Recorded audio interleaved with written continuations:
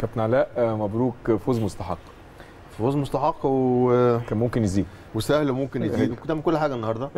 آه البداية البداية أنا بالنسبة لي البداية لفريق سموحة كانت بالنسبة لي البداية آه كانت يعني اندهشت شوية.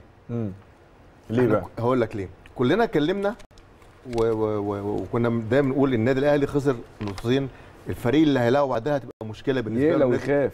لازم يقلق ويخاف. ويحذر من النادي الأهلي النادي الأهلي آه، تعادلين مش مش مش هزيمة أيوة. تعادلين بالنسبة له ورا بعض. آه، حاجة مش طبيعية في صح. موسم صح فطبيعي أنا كمدير فني الفريق المنافس النادي الأهلي حط دي لازم. أخلي دي بالي لازم. أقفل أقفل مساحات كويس لكن إحنا لما اتكلمنا واضح إن كابتن أحمد سامي كان عنده تفكير تاني خالص يعني كلنا اتكلمنا كان أسامة وكان كابتن شريف وبلال وإنت إحنا بن- بنتكلم عن المباراة قلنا النادي الأهلي هيبدأ ضاغط ويدور على مساحات و و و لكن المساحات موجودة من بداية الشوط الأول. بالظبط. يعني الشوط الأول مش ثلاثة أول دقيقتين. بالظبط. يعني الشوط الأول الطبيعي كابتن شريف قال ثلاثة لا كان ممكن يطلع خمسة. آه.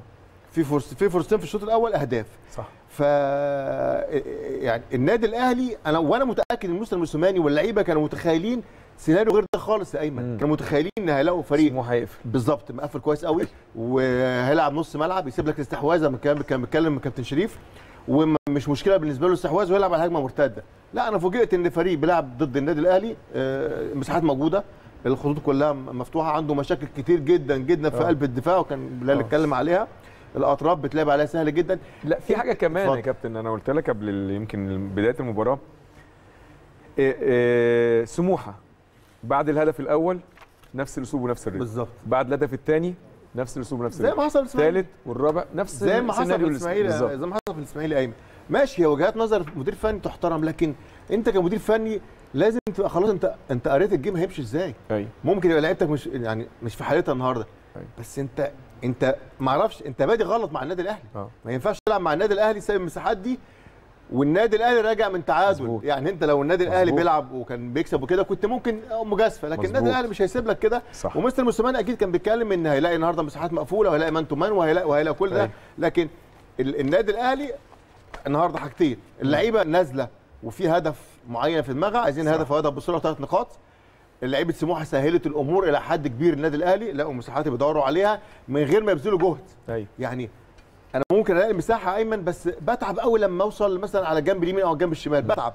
انما أنا لا النهارده كل حاجة بالنسبة لي تمام. النهارده كرة بتتقطع من باصة للتاني محمد مجدي. لطاهر أو لحسين الشحات انفراد. بس كان في ذكاء في نقل الكره وفي التحركات بالظبط لأن هو لا المساحات موجودة آه، ايمن فعلا. هو أنت أنت بت- بت- بتلاقي بت- بتباصي وبتتحرك وكده ليه؟ مساحات يعني صح. بلال كان بيتكلم بيقول لك آه، اللعيب ما تسيبلوش مساحة اللعيب ما تسيبلوش مساحة ووقت مظبوط طب أنت النهارده بتسيب لعيبة النادي الأهلي مساحة ووقت ولعيبه ما شاء الله كلها كلها نجوم. كبيرة عندها امكانيات كبيرة جدا مظبوط. يعني الواحد بي بيتمنى مساحة ووقت أنت مديله الاثنين وما عندكش أي مشكلة فخلاص أنا بالنسبة لي سهلت عليا الأمور لعيبه النادي الأهلي النهارده ما فيهمش حد وحش لكن النهارده قبل ما نخش بقى على النجم وكده كل التقدير النهارده لأكرم توفيق. أيوه. يعني مجهود ممتاز روح في لا، روح السماء عاليه قوي. روحه مش طبيعية ما شاء الله ربنا ي... ربنا يحميه. النهارده لأ يعني ممكن أنا بقى يعني مهاريا مش عالي قوي لكن بعوض بحتة روح. السماء بقلب زي ما كابتن بيقول صحيح بتعوض دي أيمن وده على. فكرة ده يعني ما شاء الله هو ذكي آه. يعني الحتة المهارية دي أو الحتة الهجومية اللي بنتكلم عليها هو بيعوضها بحتة أنت محتاجها أيوة. فالنهاردة كل الاحترام والتقدير لأكرم النهارده ما شاء الله مباراة ممتازة آه زي ما بقول لك مباراة فيها صعوبه للنادي الأهلي ثلاث نقاط. مستحقين أداء الحمد لله تمام ما عندكش إصابات صحيح. حتى الناس كلها رجعت النهارده تاني مظبوط